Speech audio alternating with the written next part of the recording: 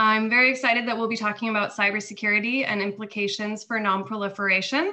This is a topic that has been in the news quite a bit recently, um, especially with regard to the Natanz nuclear power plant. So for perhaps our um, speaker will be able to address some of the recent news highlights, but it is my distinct pleasure to introduce Dr. Alexi Drew to you.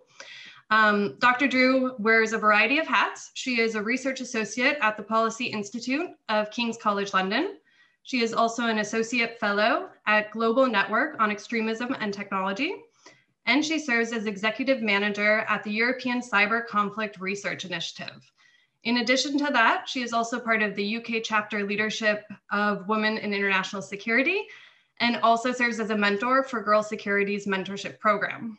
Alexi's research focuses mainly on emerging technologies, the international norms surrounding them, as well as their impact on international relations and geopolitics.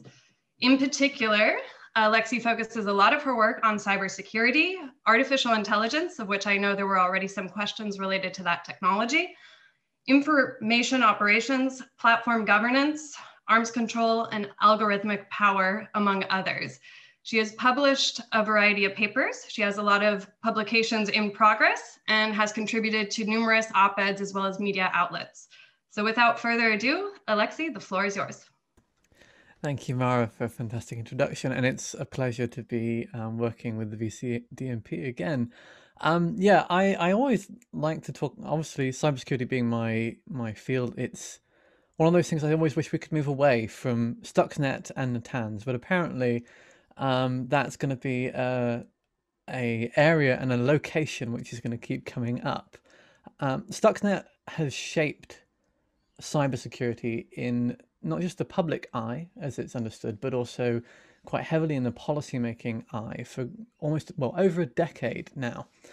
And since then, we have, in my opinion, made some great inroads at moving away from the relatively limited lessons that were available to learn from that incident, but unfortunately, um, we keep getting dragged back to them. So the events of this week um, are undoubtedly and have already um, made old questions resurface that perhaps actually don't provide the kind of nuance that we'd we'd like. So what I'm going to do is cover what I think are really three three major topics that are going to play into the current events. And then I imagine um, we'll probably have a lot of questions that focus on exactly what's happened this week, as well as apparently AI, which I'm happy to answer.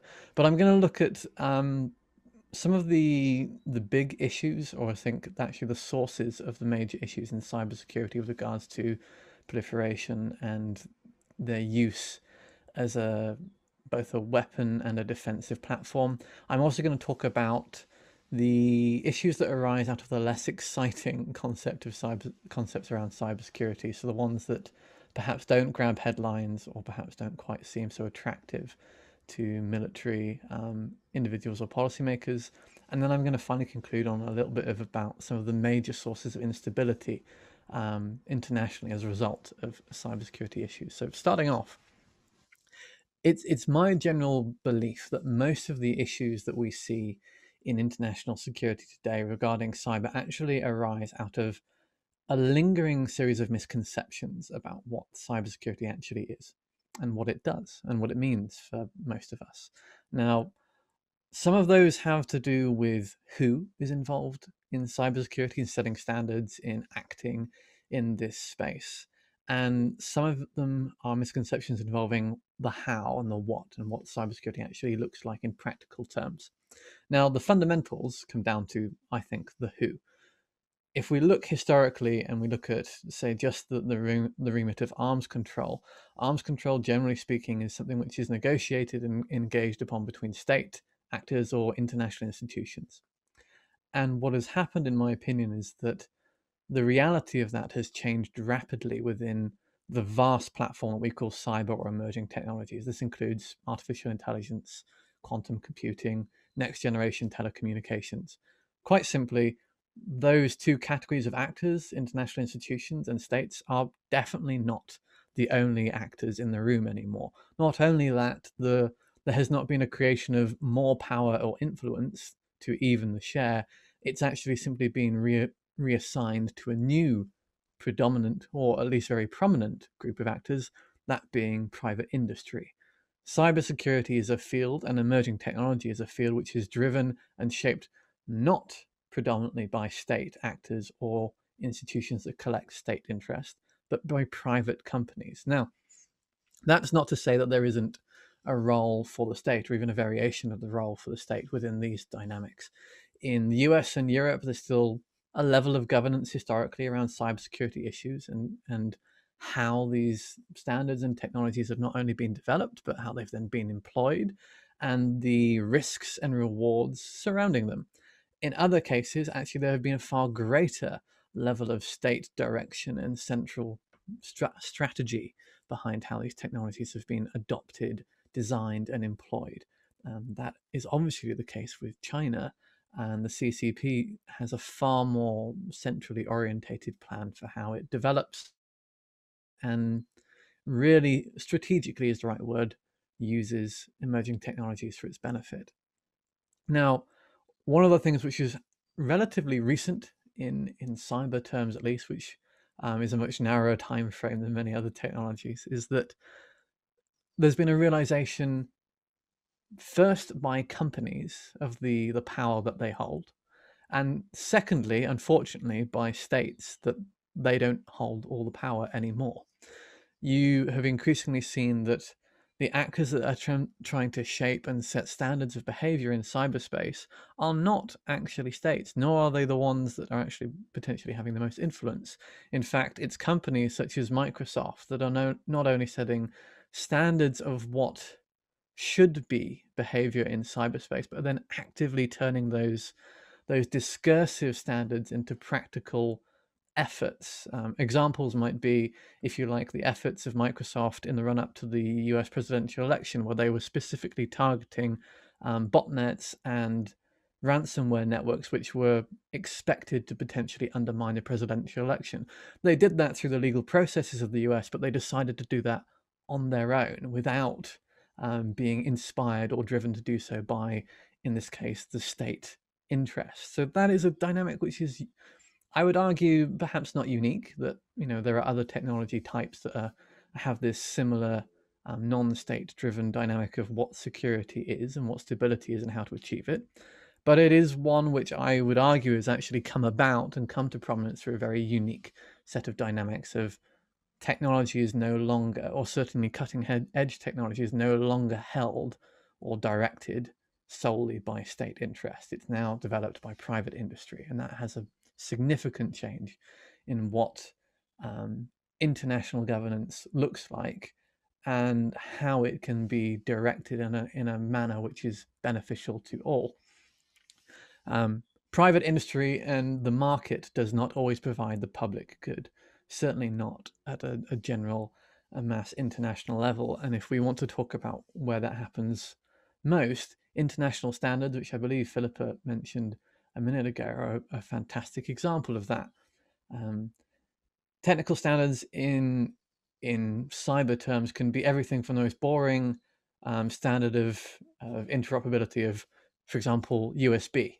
Uh, the reason why USB is predominant around the world and used in almost every computing system is because international technical standards mandated that USB would be the de facto format and form factor for us plugging things into our computers. Now, this technology seems ethically um, neutral, it seems apolitical, and it seems to not really infer any particular power on any group, state, or otherwise. However, what if the technology we're discussing is not a USB interface, but is in fact um, how algorithms interact with individuals like human beings?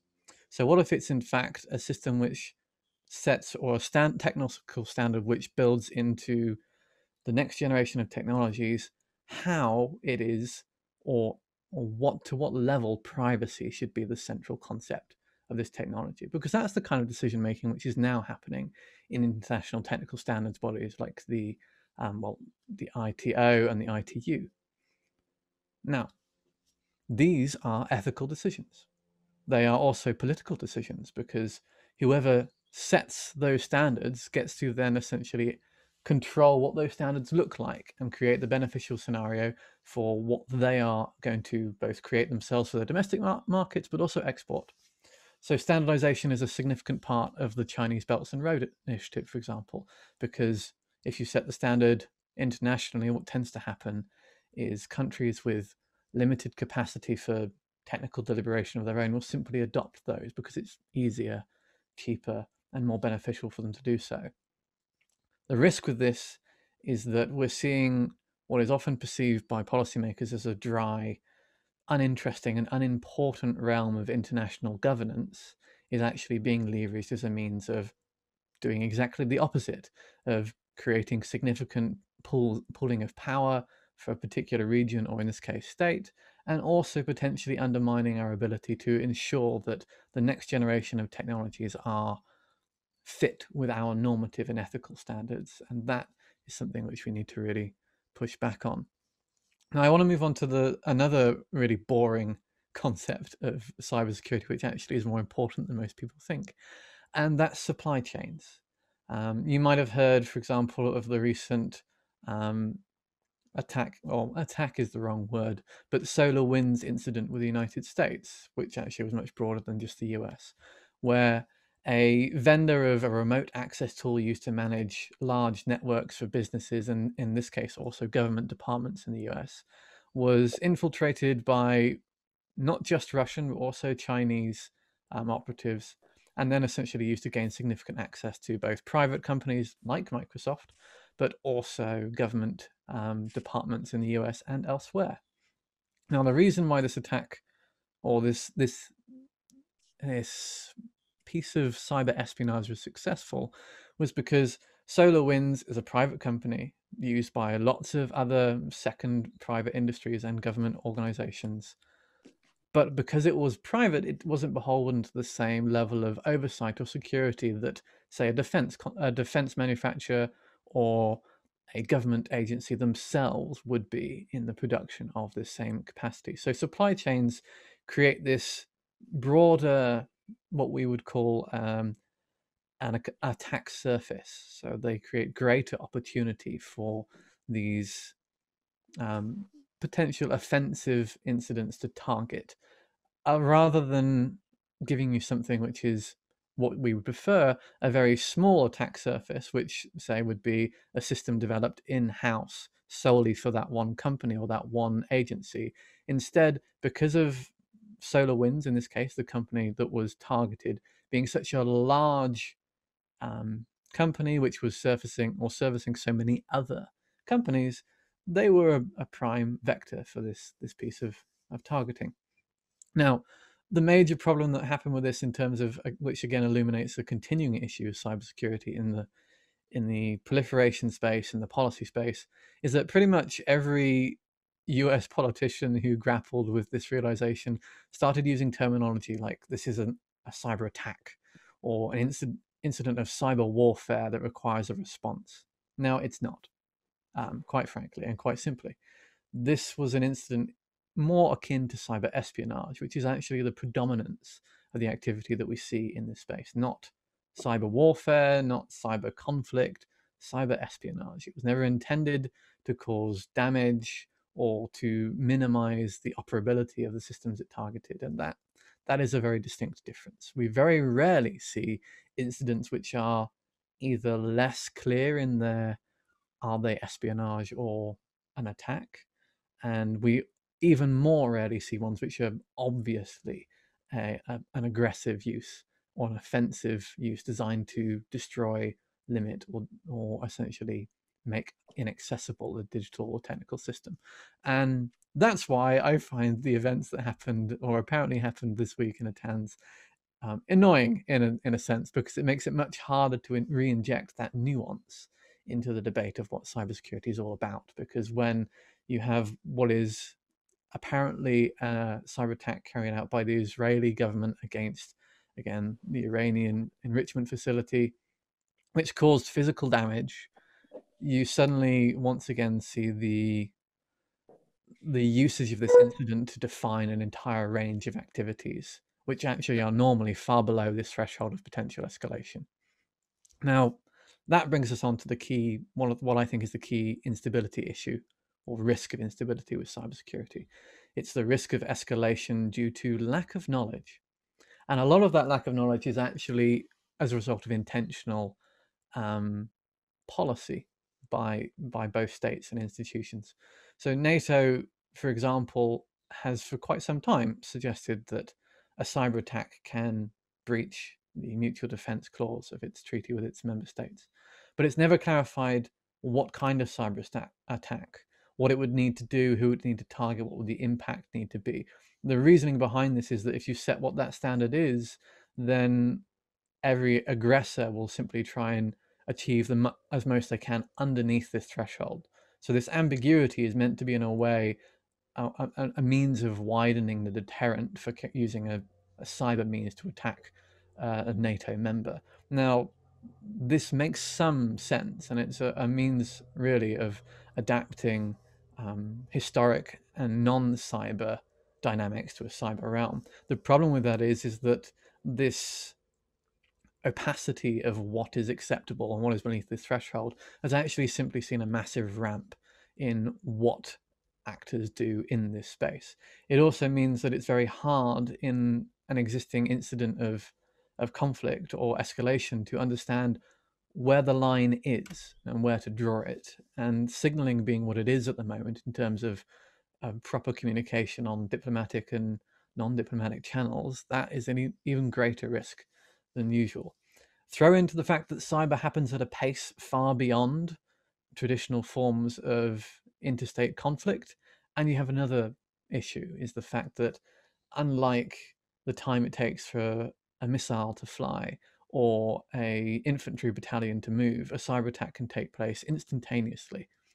Um, it also is a result of the fact that a cyber attack often, if it is intended to be offensive, will rarely be limited purely to the region or target that it was actually intended for. A case in point would be an attack carried out by um, the Russian state against, uh, in this case, um, a Ukrainian system or Ukrainian government system which went through a financial, um, or rather, I think it was a import-export tool that was used for financial accounting. The problem with that was, or that particular attack, is that same tool was used by lots of other non-Ukrainian companies, in this case, Maersk, the shipping company, which suffered a huge financial loss as a result of having to replace a large amount of its infected systems. So this was, if you like, splash damage, where you might have seen, a, even if it was an acceptable um, path of escalation, it wasn't just the intended target that was affected, so they had wider consequences. And that is a very common trend in cyber offense and defense balancing. So there's a the problem there too. And the final thing I kind of want to, to raise in this sense is that cyber capability is rapidly proliferating it has an ease of proliferation which is not unique, but certainly different from from its predecessors in this space.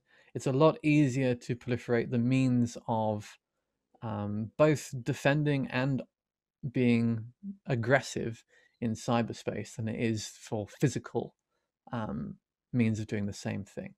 It, you can spread it through the dissemination of techniques or methods. You can spread it through the dissemination of lines of code. You can spread it through the dissemination of the the exploits used to gain access to the systems which you then want to influence. And you can spread it through consultants who have been trained by a security service in one company, ending their time in that country and then seeking employment in many cases in a state that is actually directly um, aligned against the country that actually trained them in those skills in the first place. And that is, well, that's a dynamic that's not unique. It is one which is becoming increasingly prevalent. And these are the kinds of dynamics and issues that we are faced uh, when it comes to cybersecurity, both educating policymakers on the unique functions and dynamics in this this field and this this range, but also trying to steer them away from the headline capturing incidents where cyber actually causes something to catch fire, which I have to stress again as I end my my spiel. Those are the incredibly rare incidents, And the problem with those is that they might be rare, but they're far more newsworthy than the ones that are the most common type. And that still remains one of our major barriers to effective policymaking and, and discourse is that the little rare incidents massively color the, the general dynamics. And when we try and talk about this um, in, in governance space. And that I'm, I'm going to leave it there. Um, if there are any questions, I would love to hear them and I'd love to do my best to answer. Perfect. Thank you very much, Alexi, for your remarks and also for, for clarifying some of the differences in terminology between when we're talking about a cyber attack versus cyber espionage. And of course, the, the headline that just so happened to, to come to surface this week, which makes your talk particularly timely. Um, as was the case for the last session, um, we are happy to invite you to ask your questions live. So to do so, please raise your hand. And I, you are also welcome to, to indicate so in the chat. I did receive um, an indication in chat from Sila Selin um, Turkel. I'm sorry if I'm pronouncing your name wrong, but um, please the floor to ask your question. Uh, thank you for the talk, firstly. Um, I have a question about the uh, North Korea. Uh, since the beginning of the coronavirus pandemic, North Korea has taken aggressive actions, measures, and uh, has not reported a single case. However, in February, uh, North Korean hackers uh, tried to steal uh, COVID 19 uh, vac vaccine technology from the Pfizer.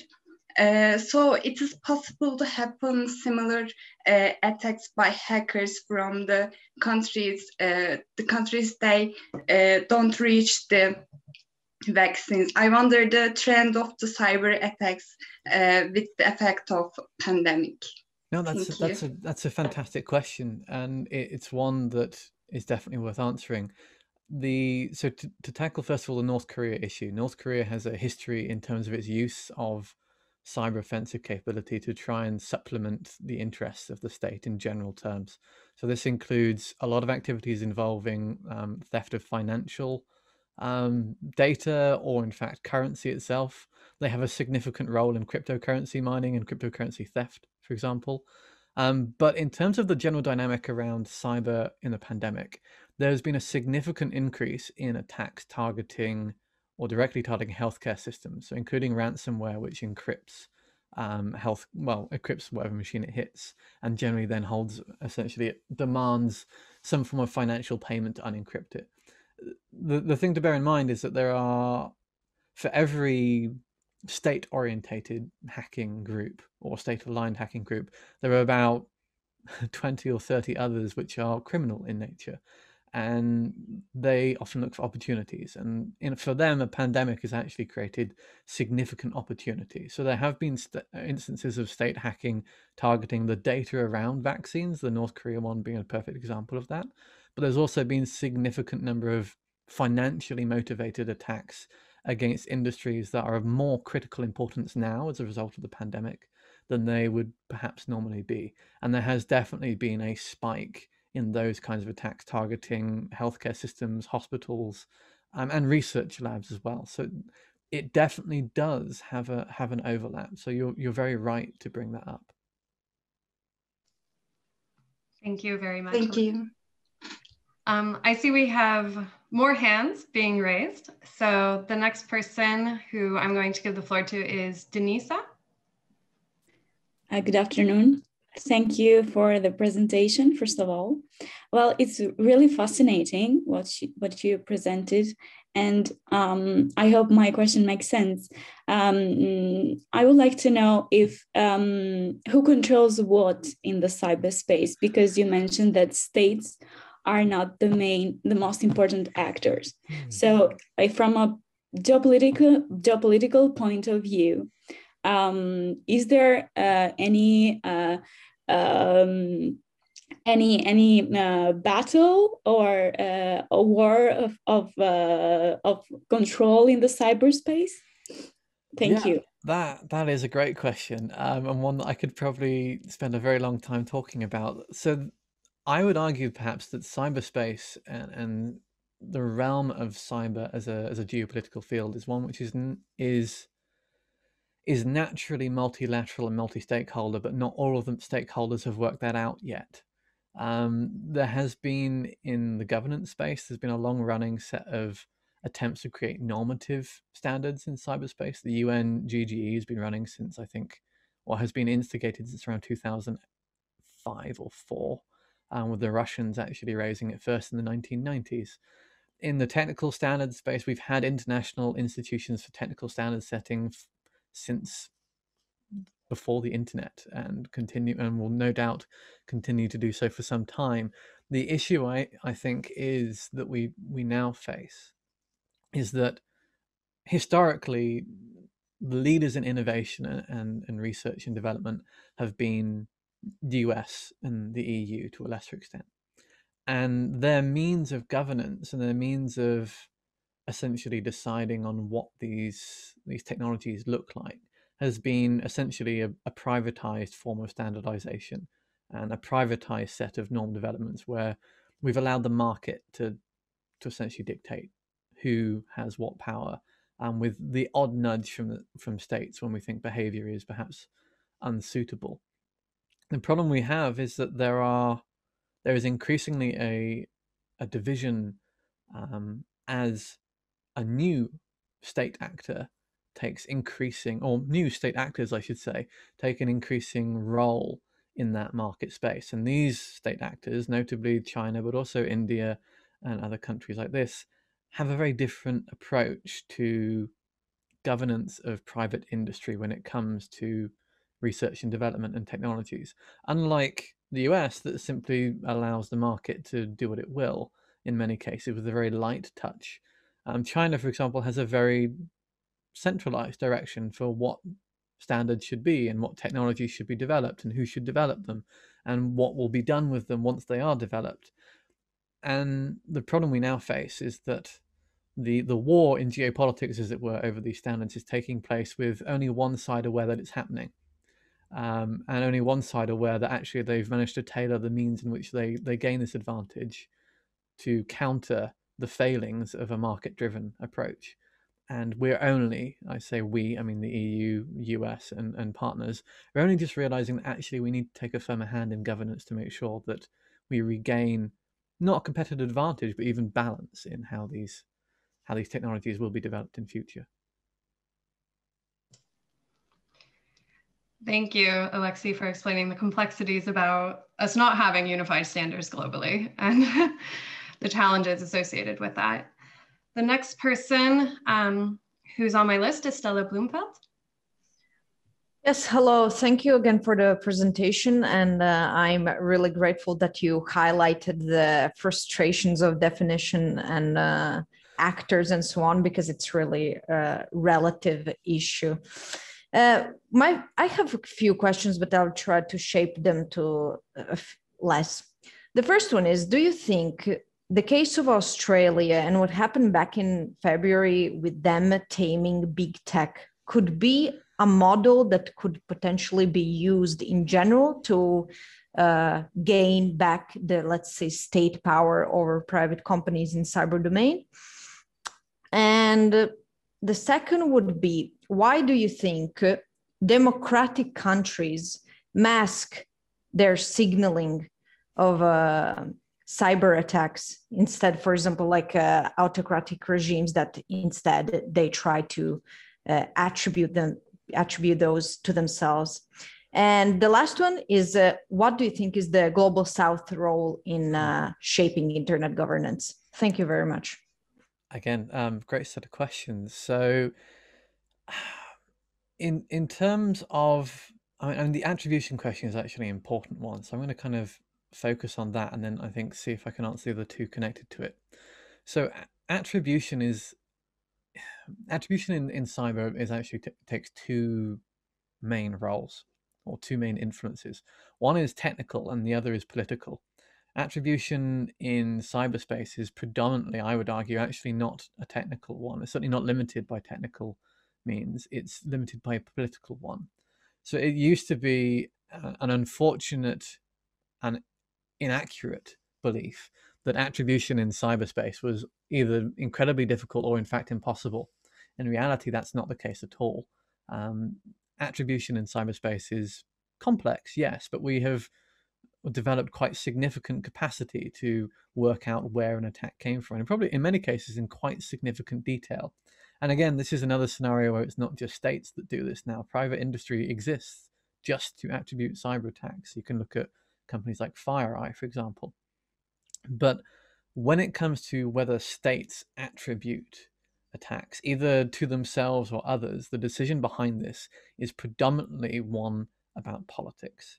If you're attributing to yourself and you're saying, we have done this, that is a means of sending a signal to both the aggressor or the target of your attack and to the international community as a whole. So, for example, if you want um, a case where an attack was openly attributed with a little bit of a, a side, when the, I think it was the Dutch actually, um, attributed the attack against the chemical weapons establishment by Russia, their their direct calling out actually went into a lot more detail than it would usually do. And the reasoning behind that is political, not technical. So every incident where attribution is made technically, the level of information involved would have been the same or close to as this as the Dutch managed to gather in this case. What was interesting and relatively unique was the amount of detail they went into in the open attribution of the source of this attack. Because what they did is go into further detail of the capacity they had to access the side that they were accusing of being aggressive in this instance and it was demonstrating their own capability in doing that. So that's essentially sending a signal going, not only do we know you did it, we know you did it, we know how you did it, we know where you did it from, and if you do it again, we will do more than just attribute because we're already in your systems looking at what you're doing. And that is a very political thing to do. It's a very strong signal to send. The EU recently has developed a, a cyber diplomacy toolkit, which has a significant lean towards open and shared attribution between EU member states. And I think it's a a very good um, toolkit. I think it's one which actually has a significant chance of having a, a stabilizing impact. In fact, it's great to see even post Brexit, the United Kingdom is building into its own cyber strategy an attribution component that that still aligns at least semi with the, the EU one, which would have been beholden, well, a part of otherwise, which is good. It's also bringing the US involved more from what we're seeing, and other nations. So Canada has been involved in a lot of joint attribution recently. So that dynamic is good. Um, in terms of the global south, I think the global south has quite a, a big role to play in in standard setting, and I think it has a, a big role to play, which unfortunately is counteracted at the moment with a very limited understanding of what that is and the nature of cybersecurity issues within the global south.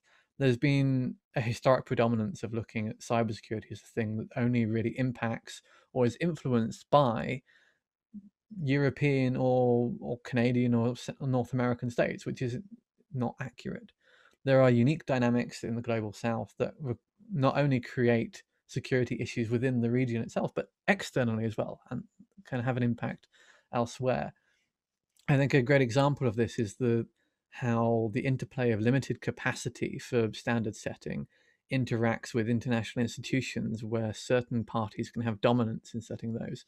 So, as I mentioned earlier, um, a standard set in the ITU, for example, uh, is likely to be adopted by third countries if they don't have the capacity to create their own, um, which means that what you'll see in the global south is essentially a, a proxy conflict between warring technical standards in an international domain that are being adopted without um, contention without domestic understanding either the, the context of what's going to happen with them later down the line. And that's because capacity is a has become this this recognized issue or the lack of limited capacity has become a recognized issue in cybersecurity but not one which has been ironically given much capacity to solve. Um, has done some great work for example pointing out the security implications of limited capacity in um, digital security to um, the global south. But nothing has actually seemingly done by those who have the ability to do so, and that I think is a is a big flaw. So the global south will have a big role to play. Um, hopefully, they'll be able to be um, assisted in developing the capacity to to take matters into their own hands and do so from their own position rather than be overtly in, or covertly influenced by others. Thank you very much, Alexi. Thank you.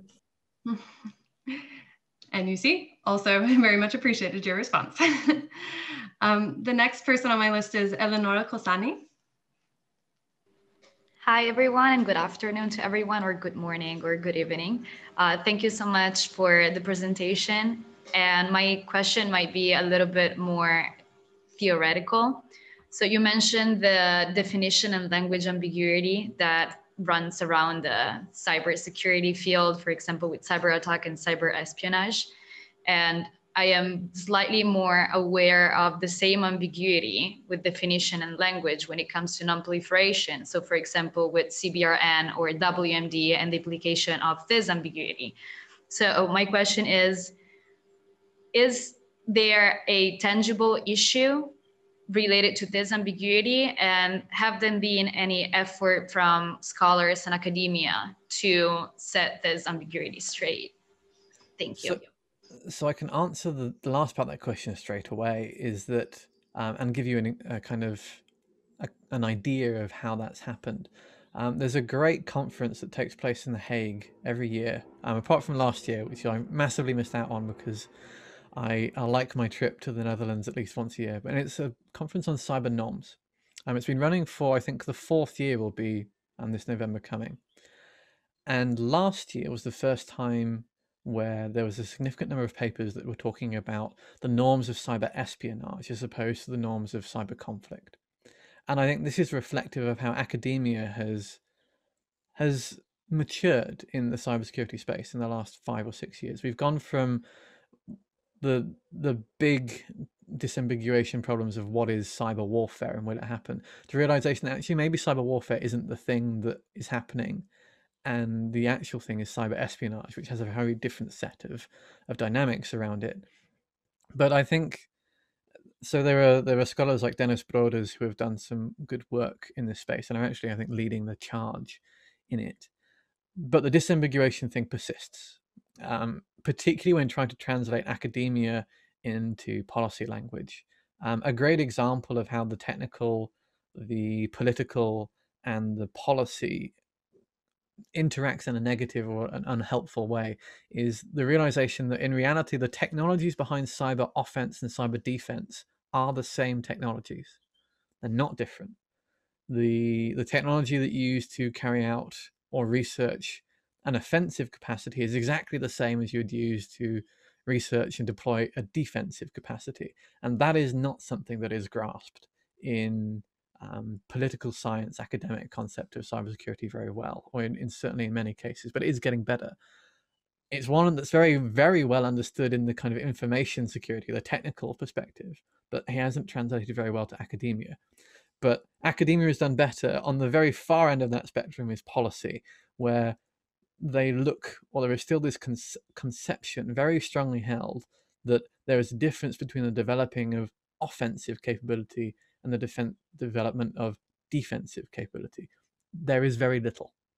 Um, and it is very hard, particularly from an external position, to look at what a state or an actor might be doing and researching and go, that is for defense and that is for offense. Most emerging technologies are fundamentally dual use and many of them are fundamentally um, two sides of a sword that can be used for defending or offensive activity at the same time. Um, and to make a decision from the outside looking in is incredibly hard. And that's a great example of how this disambiguation of concepts and language translates into a policy space. Thank you. Um, thank you very much, Alexi. That was very fascinating. And I think it's true. Sometimes when we talk about defense and offense, especially in this realm, it's easy to, to think we're talking about two different tools and tactics, whereas um, oftentimes it could be similar, but, but the end goal is different. Um, the next person on my list, and I apologize in advance if I'm mispronouncing your name, is Awanaf Hajer. Sorry, please correct me with the pronunciation. Thank you. Yes, it's correct. It's Awanaf Hajar. So thank you so much for this presentation and for these great topics to discuss about. So bearing in mind that cybersecurity is part of human rights, so isn't time for governments to, if I'm right, to, to, uh, to form a charter for human rights, detailed charter for human rights? Because as he said uh, as you said sorry it's a geopolitical space that needs for uh, legislations. Thank you that is fundamentally exactly the case um, you one of the problems we have i think is that there is there is a difference in pace and pace of recognition of the implications of these technologies on human rights and the pace of, of action after this recognition. So if you want to look at the top end, like the, the best practice, um, things like GDPR in the EU is a great example of a recognition of the, not just a recognition of the rights of privacy to the individual, but a, a creation of essentially a legal framework which then operationalizes that recognition and the great thing about GDPR in this case is because of the, the nature of the EU bloc and how it's done, it's had implications beyond the EU. A lot of American companies adopted GDPR as a standard simply because it was too costly to have two parallel systems of practice. So that's a good thing. On the completely opposite hand of that, however, you have areas and places where um, these technologies are viewed as an opportunity for authoritarianism and not for one of of creating a public good or or balancing the risks of authoritarianism misuse to create uh, a system of public good. And what we see here is that there are some actors that perhaps in an international perspective or an international institution would not only be in favor of, but would quite happily um, work towards an updated version of it, human rights concept to include things like privacy, ownership of information and data, um, the lack of algorithmic bias, etc. However, there are still um, powerful um, state actors that do not recognize that. And what they see instead is an opportunity to misuse, in my opinion, these technologies for their own domestic um, security, for, for the not for the people, but for themselves as a as a party or a group. And these are these are unfortunate realities that have not yet been got over. And I would I would love to say that we're on a fast track to the recognition of what we we should be doing with these these technologies and the whole the whole gamut of them, but we're not. Um, and in fact, in many cases, we see it going back the other direction, and opportunities to correct and course correct are are not taken up. And I think that I can only hope that people who ask questions like that in this room can be part of the solution to that problem. So that would be great to see, and maybe um, counter some of my cynicism in this space. It's very nice of you to end on a note of optimism in your response. I try. um, the next person I have on my list is Sonia Naz. Uh, thank you so much for your interesting discussion on a very needed topic, cybersecurity threats. So my question, uh, my question, what do you suggest for nuclear weapon states? How they can secure their nuclear command and control system from cyber threats in the age of emerging technologies? Thank you. Well, this is a this is a great example of, of what I said, connected to what I said before about offensive and defensive capacity. Um, much much in the same regards, any offensive or any cyber capacity developed that can say target a banking system or financial system is likely the same tool and the same process and, and vector that could be used to target nuclear command and control. So, how do nuclear states encourage, or rather discourage, um, activities and the use of capacity that could undermine that. Quite simply, they do better at um, proffering cyber norms of stability and they do better at creating capacity outside of just the nuclear states. And they do better at normalizing technical standards which are garnered towards an open, transparent, and secure internet as opposed to one which allows them to continue to operate um, for their own interest beyond or below those thresholds and breaking their own rules. Um, it, you can't be a norm entrepreneur for stability and lack of and, and, against escalation if you yourself engage in activities which fundamentally undermine those. And I think my biggest issue with not just the nuclear states, but pretty much anyone with a developed cyber capability that they use offensively, is that those who put on the right face of trying to argue for stability and norms of a mutual self interest or mutual interest and non-aggression are often those that engage in the most complex and potentially destabilizing acts of cyber espionage, or in some cases, um, like in Israel and Iran this week, the ones that are very, very overt. And that is a behavior that does not benefit um, stability of any kind, and including um, the potential risk to nuclear command and control. I, I personally think that there's a very strong um, set of implicit norms about non attacks against those kinds of infrastructures, but those should not be the only protection or deterrence to those sort of things. We need better um, action all around, I think. Perfect. Thank you very much, Alexi. I currently don't see anyone else on my list of questions. If you do have a question, please either raise your hand or indicate in the chat. But while we have a little bit of time, perhaps I can ask some questions of my own. and one of my questions is kind of relevant to what Sonia was getting at, and that is how vulnerable are our nuclear facilities to cyber attack? With the current incident that did occur in the news, there's been different reflections about um, Iran's capabilities being set back by a couple of days, others say an entire month. And I'm just wondering, when when we talk about cyber sabotage that does actually have a physical impact as well. How how grave could the danger be? Um, what is the extent and the impact that such attacks could actually have? And in that regard um, well speaking of this i guess the other question is when when you look at the threat of nuclear versus the threat of a cyber sabotage on a nuclear plant what is truly the greater risk especially given that cyber sabotage has um, you can have more perpetrators at a lower cost and they don't necessarily have to be on site so.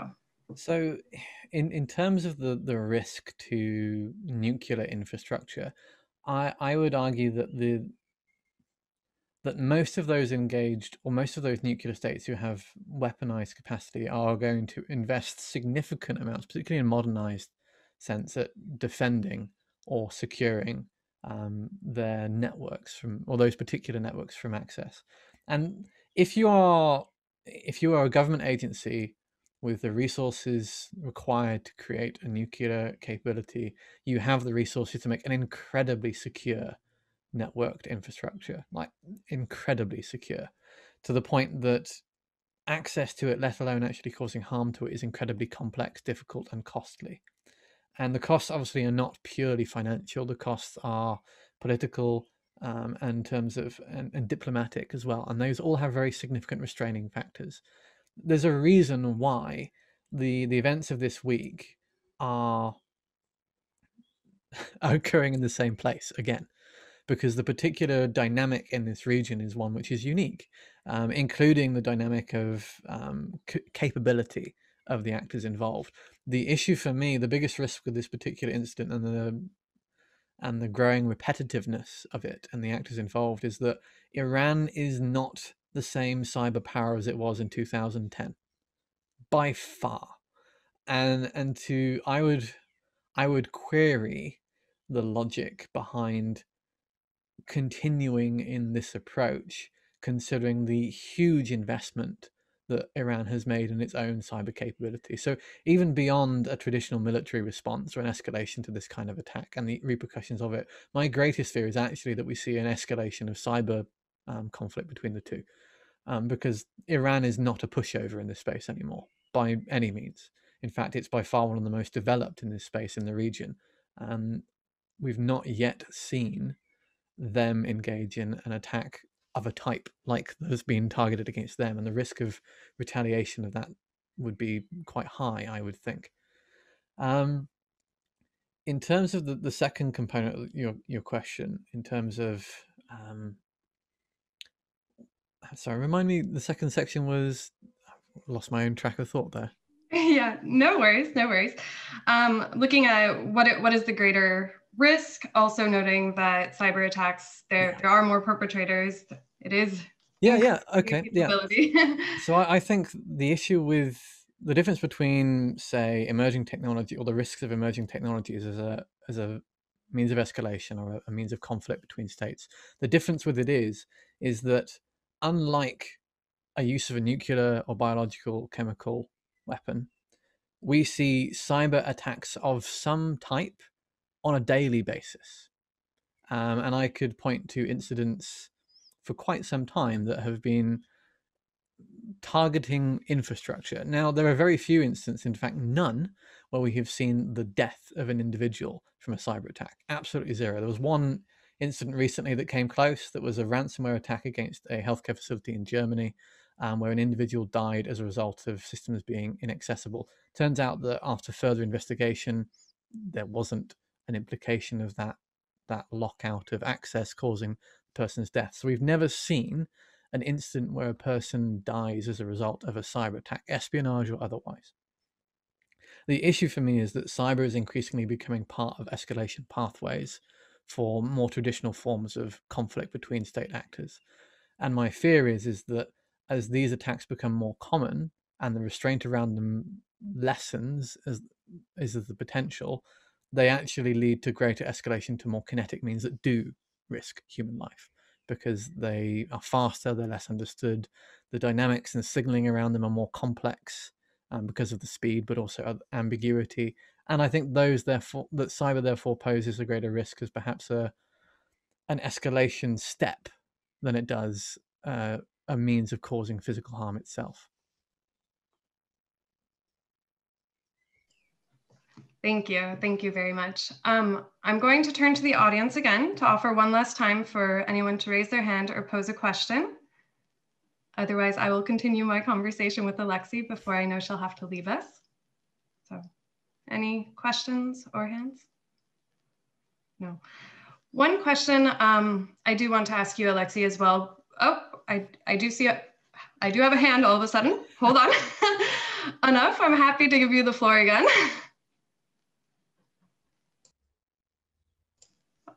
You're, you're currently muted, so. Okay, now you can hear me. So I have a quick question. Uh, in your opinion, um, is the cyber backwardness of some countries a blessing or a curse? Whew.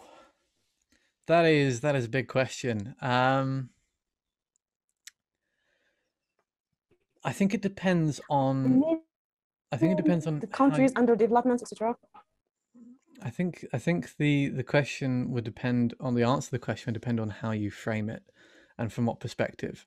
I think for the for the states themselves, there's who are perhaps behind um, their peers. The the issue would be the potential for them to be, in a way, influenced in a direction that doesn't actually benefit them in the longer term. So there's a potential for misuse of them as a as a component of a wider geopolitical trend or conflict between other parties. I personally, I think that's the, that the same is true on a on a wider scale. I think that the development of, of global governance depends upon equal and equitable equitable inputs from all parties involved, and that includes non-state actors and, and private industry. As I've pointed out, those are their key components. But it should also include inputs of all states that have a stake in the future of these technologies, which isn't just those who currently have an advanced capacity in them, and it's all states. And I think, therefore, that the fact that there are those um, states that don't benefit from this, they don't have the capacity and the capability to engage in government governance discussions, actually is in general a a negative. Um, it's a it's a bad thing for global governance as a whole because without their inputs, we're we're shaping a, a, form of global governance that potentially will come up against problems in the later term as these states develop into the position that we are perhaps in now and realize that that, that system has not been designed for them because they haven't had the inputs that they should have done. And I think that generally then my answer is that it, it's a curse. We, we should develop or de, yeah, we should give more resources to the, the capacity building in third states and allow them then to actually take part as equal partners in global governance discussions and deliberations. Thank you very much, Alexi. That was a very a very interesting question and a great response. So thank you for sharing those insights. We are reaching the end of the session. So what I would like to do, um, seeing no other hands or questions in the chat, is to offer you um, a minute or two just to provide us with your concluding remarks and the main messages you hope we take away from today's session. So I, I think the biggest thing that I would like anyone to take away is that don't believe the headlines for one. um, cyber is one of those headline grabbing things that the nuance and the realities and the actual general trends of what this field is like is swamped in the news articles that come out from well-meaning but often informed individuals. And that also unfortunately translates into policy decision a lot of the time. Um, so ignore the headlines um, look to the general trends and the increasingly good academic work which has greater nuance and more critical analysis of these issues as opposed to the buzzwords of cyber war and cyber weapons there's far more to it than than those terms and the final thing and this has been touched on by most of the questions if i'm honest is if you are reading into the space beware confusing definitions and beware people who say one thing but mean something entirely different from it and it can make navigating these particular waters very difficult. Um, and it often means that most of these papers start with about 500 words of definitions about concepts that you've seen so many other times that mean different things. And finally, I, I think I'd like to say I'm encouraged to see so many people here with an interest of different backgrounds and from different regions and locations because that is a although we've come very far in this field the biggest thing that we still lack is diversity of of inclusion of perspectives and we need more of that. So I'm, I'm, very pleased to see some of that represented here and i hope it continues. Thank you very much alexi. Um, on behalf of the organizers i would like to thank you for taking the time to join us today and for your insightful remarks. And i would like to thank all the participants for asking their terrific questions. And please do join me in a round of virtual applause to our speaker. Yay! Thank you very much for joining us, Alexi, and good luck with your other meetings today. I'm looking forward to finishing them so I can get away from Zoom calls. But thank you very much for having me and enjoy the rest of your day.